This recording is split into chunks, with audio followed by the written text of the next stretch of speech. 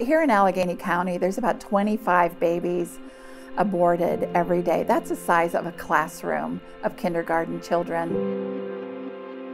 And I'm excited to tell you that last year, in the middle of a pandemic, 264 women who were considering abortion said yes to life.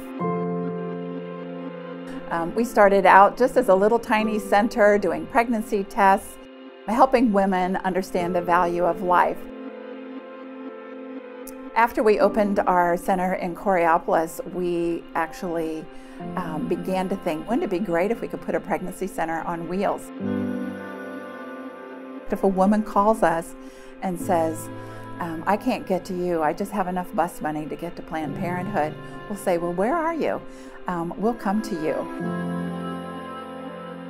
Today, here I am sitting in our newest location and opened in November and we are on the south side of Pittsburgh on East Carson Street.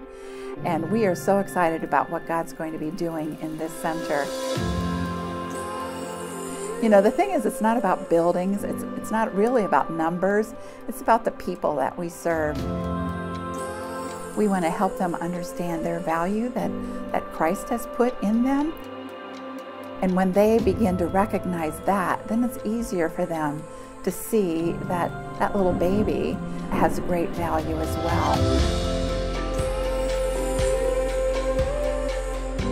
I always say that when we're in the ultrasound room, we're really standing on holy ground. When they see that tiny little baby, there's a connection that is made. Sometimes that baby is only like the size of the tip of your finger, yet there's a heartbeat there. Um, sometimes they see little arms and legs. It's miraculous.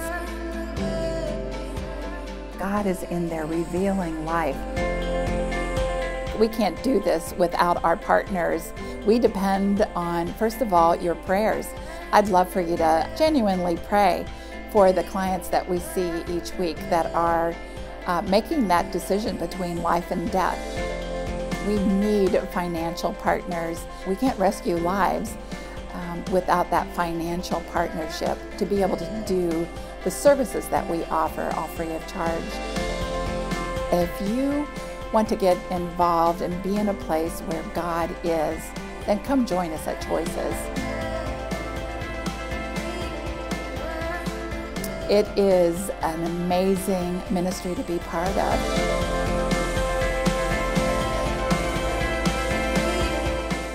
Shining the light of Jesus Christ wherever we are. And we invite you to come join us in making a difference for life.